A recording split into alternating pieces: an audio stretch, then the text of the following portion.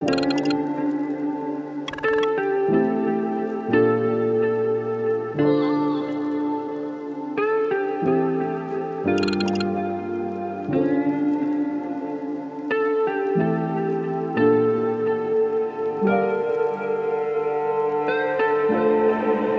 pasa, gente? ¿Cómo estamos? Venga, fuertes ahí, os quiero ver, dale. Bienvenidos, otro domingo, de domingo a domingo. No diré ya de alga por alga porque se acabó la saga de las algas, pero, pero vamos a tocarla de refilón porque manteniendo el formato, vamos a hablaros de algo que es parecido, que sale como una extensión, como un moco, que es asquerosamente asqueroso y no es muy atractivo. ¿Y de qué estamos hablando? La cianobacteria. Eso es. Si Luis dice cianobacteria, todos habéis dicho en vuestras casas y en vuestros vídeos y televisiones y sofás cianobacteria. Con lo cual, con lo cual, vamos a hablar de la ciano. ¿eh? Esa cosa tan asquerosamente mala y fea que sale en los acuarios. Venga, vamos a hablar de la ciano. Vamos a simplificar para ahorrar minutos ¿eh? y en vez de decir cianobacteria diré ciano. Así Luis no me mete el puro por haber hecho el vídeo muy largo. ¿Vale Luis? Venga, dicho esto, vamos a primero, como mantenemos el formato, pues a comentaros un poquito qué es esto de la cianobacteria, ciano. Normalmente, pues si tenemos el acuario, tenemos el sustrato, pues la ciano tiende a salir por, por estas regiones entre el cristal y el sustrato, ¿de acuerdo? De manera muy tenue, muy sutil, pero a veces pues suele salir, vemos alguna manchita. Bien, si sale con esa sutileza y sale así de débil y no empieza a extenderse de manera superficial y pues bien, no hay problema, no hay que alarmarse, no hay que llamar a, ningún teléfono de emergencia ni nada.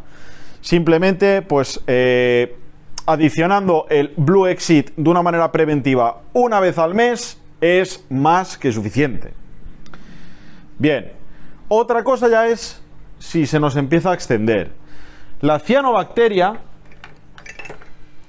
pues es una especie de de moco, no, no, no es filamento ni es tejido, es una especie de, pequeñas extensiones, planos que se van formando, van colonizando arena, sustrato, plantas y pues no es otra cosa que la formación de una bacteria que no es, no es buena, no es, no es, eh, no es agradable de ver, huele mucho, huele mucho el agua, huele mucho la bacteria.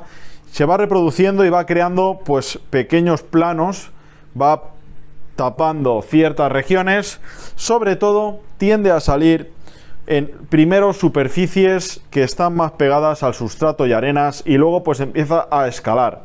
No vamos a ver de una manera general o común cómo nos empieza a salir ciano de manera muy superficial en plantas que están en la superficie.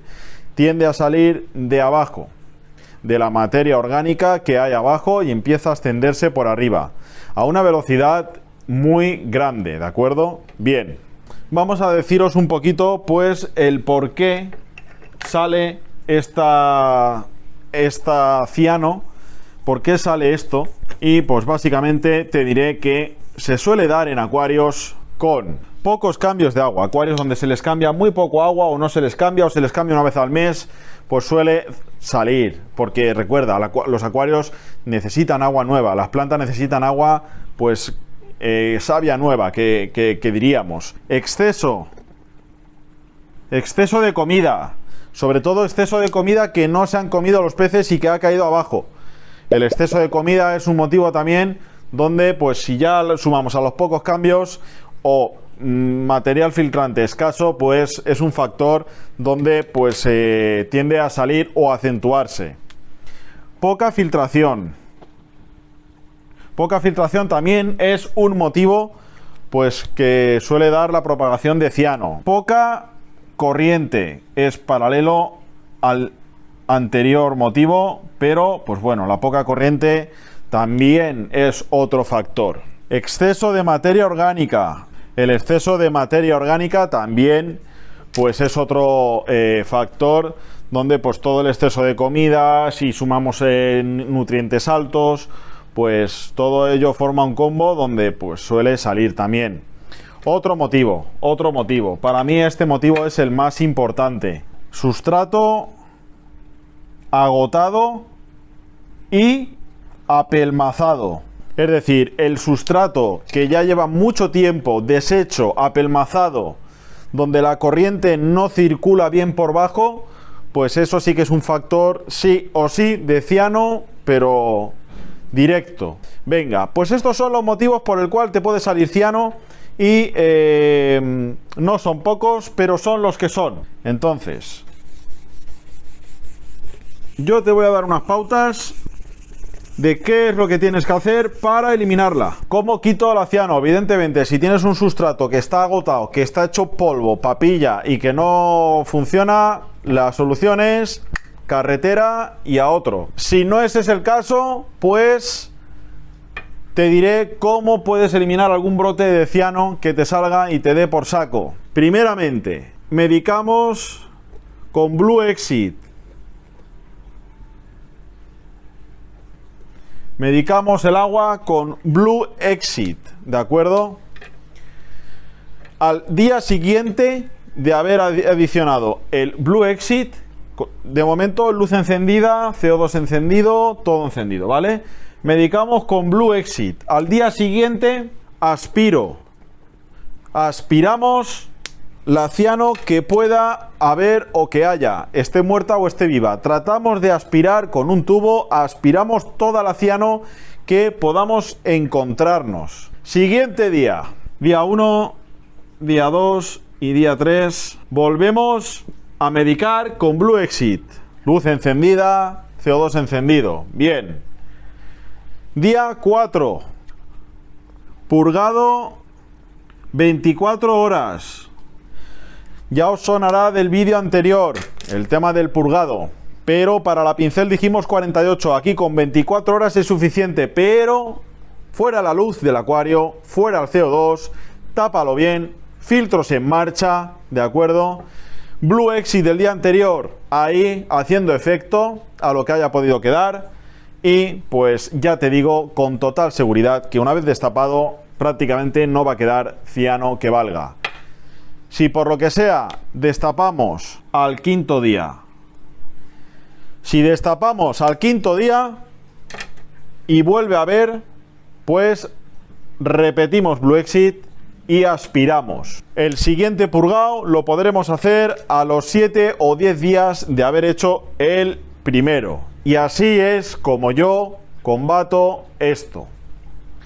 No hay más, no hay menos. Así, con lo que os he explicado. Sin más. Una vez hemos destapado y, hemos echado Blue Exit aspirándolo, al día siguiente, que sería el sexto día, hacemos un cambio de agua. ¿eh? Sexto o séptimo día, da igual, haces un cambio de agua del 40%. Y tanteas a ver. ¿Que se repite? Pues empiezas a hacer la misma jugada. Y pum, y pum, y pum, y pum, y pum. ¿eh? Como en la vida, si te caes, te caes, levantas, te levantas, te caes, te caes, te levantas y te levantas. El tema del ciano lo dejamos aquí. No la englobamos con el tema de las algas. Hacemos una categoría nueva en el canal llamado cianobacteria y ahí irán todos los vídeos de la cianobacteria. En la semana pasada os pedí un favor y me han comunicado desde la central de YouTube en España que habéis reventado el botón de los likes en el canal de Nascapers. Lo hemos vuelto a reponer, el botón de los likes. Pero, pero, esta vez, esta vez vamos a apretar un poco la tuerca. ¿eh? Os pedí 500 likes, habéis llegado, lo hemos sobrepasado. Vamos a ver si entre todos podemos llegar a 550, 600. Venga, ahí lo dejo. ¿eh? Es una motivación para todos. Esto es un engranaje que va, eh, es un mecanismo que va eh, engrasando y que va funcionando y donde todos somos partícipes y todos funcionamos y todos aportamos. Tanto yo como todos y cada uno de vosotros, Luis, Jason, aquí entienda también, todos. Venga, lo dejamos aquí. Hoy es domingo, la semana que viene vuelvo el domingo y los podcasts jueves en jueves. Vamos a ver qué más inventamos y qué más días os llenamos. Lo dejamos aquí. Luis está ahí detrás haciendo así. No digo nada, lo digo todo. Nos vemos el siguiente domingo. Chao.